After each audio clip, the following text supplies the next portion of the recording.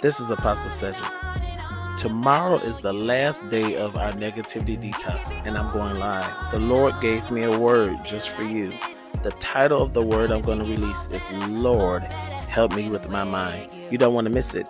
If you're at work, put in your headphones. Listen, this is going to be real good. See you tomorrow.